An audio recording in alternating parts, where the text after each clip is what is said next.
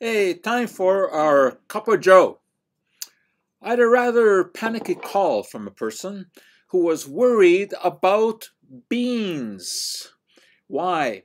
Because he was making soup from canned beans and was looking at the list of ingredients. And one of the ingredients listed here was calcium chloride.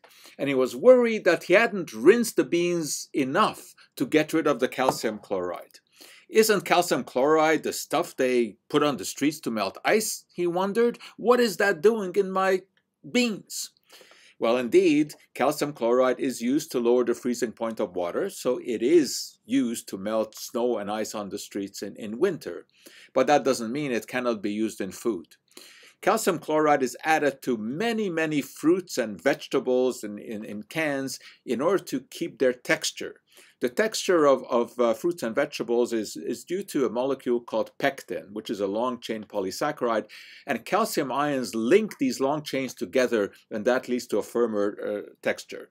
But producers can't just add chemicals at random to food. They have to be approved by regulatory agencies. And calcium chloride is. There's no problem with it.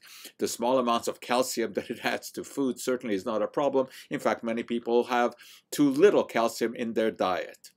Oh, it's added to all kinds of things. It is added to pickles to make them firm, and also it reduces the amount of salt that is needed because calcium chloride itself tastes rather salty. It's used to make little spheres that look like caviar by coagulating vegetable or, or uh, fruit juices with calcium alginate. And to do that, calcium chloride is added. It's used to make tofu, to coagulate the proteins in, in soy and it's used in cheese making to coagulate the curds. Uh, so it is widely used. It is added to beer because it, it gives it a special uh, flavor. And you look at some sports beverages, you'll see it contain calcium chloride because it is an excellent electrolyte. Where do we get it? There are several ways. You can just evaporate natural brine from salty lakes or from the ocean, and you can separate calcium chloride from that. But commercially, it is mostly made as a byproduct of what we call the Solvay process, which is used to make washing soda. Uh, you take uh, limestone calcium carbonate, react it with salt, and you get sodium carbonate, and the byproduct is calcium chloride. It's produced in large quantities, but the main use is to melt snow and ice on, on the streets. Calcium chloride is also extremely hygroscopic, means that it picks up moisture. And we use it in the lab in drying tubes to make sure that moisture doesn't get into our, our equipment. And you'll also find it as an additive to salt in order to keep it uh, free flowing.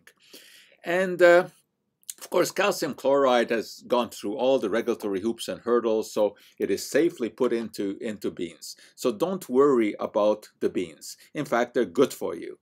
And you know the old saying, beans, beans, good for the heart. The more you eat, the more you, well, you know what comes next. Anyway, no need to worry about calcium chloride in your beans. Thanks for listening. See you next time.